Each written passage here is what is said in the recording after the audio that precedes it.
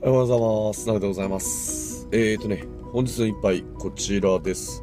えーボス、えーブラジルセレクション、えーブラジルの宝石って書いてあるんですけどもね。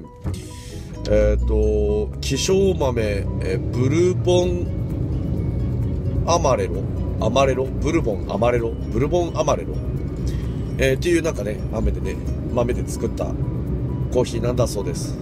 いただきます。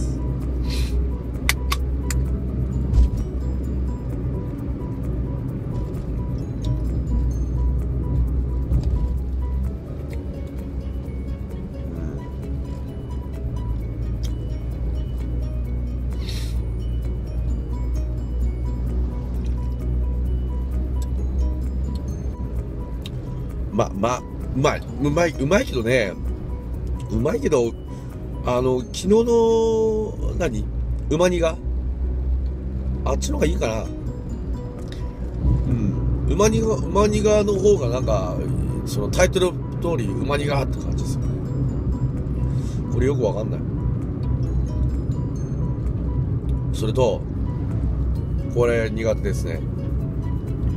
この飲み口のところにのすぐそばにこの缶の継ぎ目がある。むき出しでねこれね。これはあまり好きじゃありません。うん。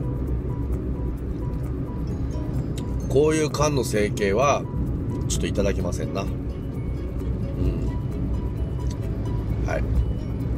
ということで、えー本日は、えーボス、えーブラジルセレクション、えーご紹介しました。では。